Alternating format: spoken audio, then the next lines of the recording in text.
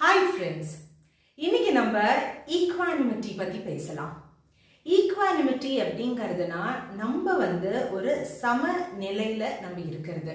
So ஒரு com and compost மைண்டாக நம்ம இருக்கிறது.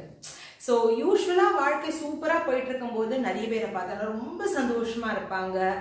வந்து அவங்களோட முகத்தை பார்த்தாலே நீங்கள் பார்த்தீங்கன்னா புன்னகையோட அப்படியே பிரதிபலிக்கிற மாதிரி இருக்கும். ரைட்டா இல்லையா? அதே மாதிரி சிலப்போ நம்மளுக்கு வாழ்க்கையில் ரொம்ப லோவாக போயிட்டு இருக்கும்போது சில பேர் ரொம்ப டிப்ரெஸ்டாக ரொம்ப ஸ்ட்ரெஸ்டாக ரொம்ப அப்செட்டாக இருப்பாங்க வாழ்க்கையில். அவங்க மூஞ்சியை பார்த்தாலே நீங்கள் பார்த்தீங்கன்னா ஒரே சோகமாக வடியும். ரைட்டா இல்லைங்களா?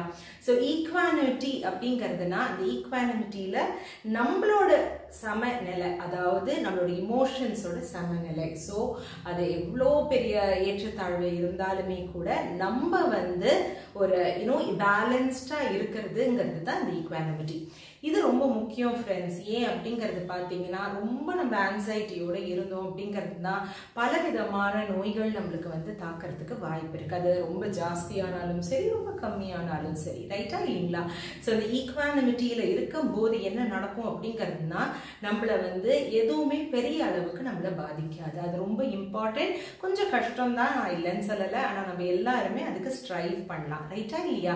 ஸோ இந்த ஈக்வானிமிட்டியை நம்ம வந்து அடையிறதுக்கு என்னெல்லாம் செய்யலாம் அப்படிங்கிறது நீங்கள் பார்த்தீங்கன்னா நிறைய நம்ம மெடிடேஷன் பண்ணலாம் நிறைய ஜேர்னலிங் பண்ணலாம்.